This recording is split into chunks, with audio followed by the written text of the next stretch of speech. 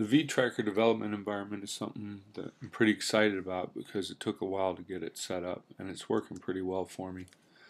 Uh, on the Mac OS X, keep Eclipse Python plugin, put in the Django framework, have a MySQL daemon running, use MySQL Workbench to look at the database, have a command line interface going, and a Chrome browser, and lots of reference documentation.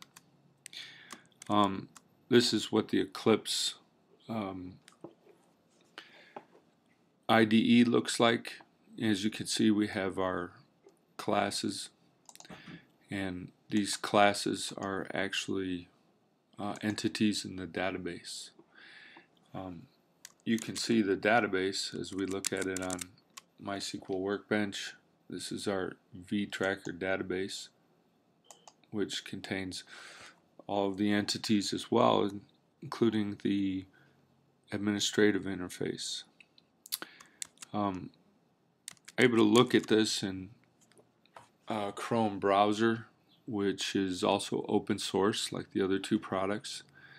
And uh, this shows you a little bit about our vTracker administration, which was created. There's uh, some of our machines, and we'll talk a little bit about vTracker later. And of course, we have lots of documentation, books, and the Django documentation is also quite rich. And uh, we're using version 1.2, and there you have it. Hopefully, uh, you're as excited about this as I am.